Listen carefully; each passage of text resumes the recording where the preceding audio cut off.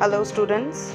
So today uh, we are going to learn how to do the mock test of Olympiad. First of all, you have to go to uh, the link which I have given you.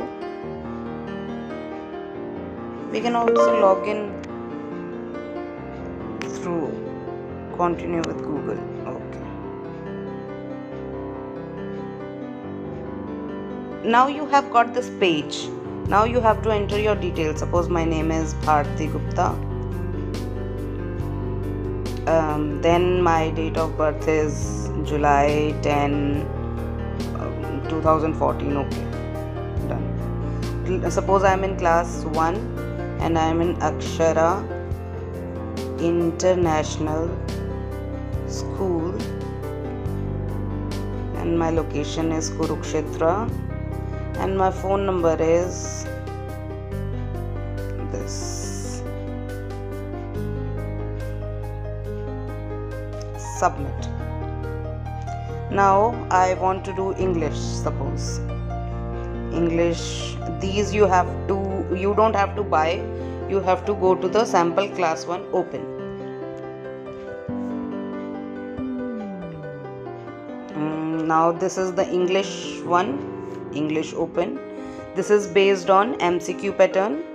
So these this is the test. Uh, test name english.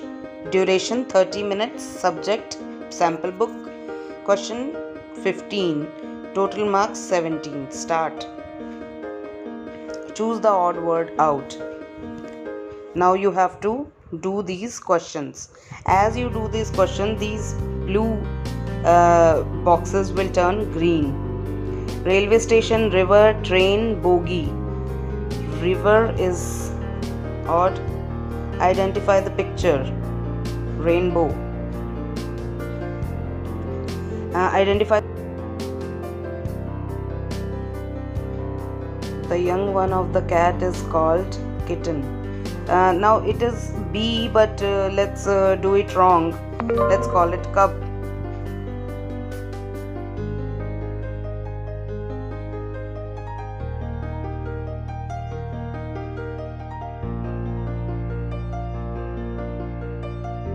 now I have uh, completed this test. You want to end this test marked green?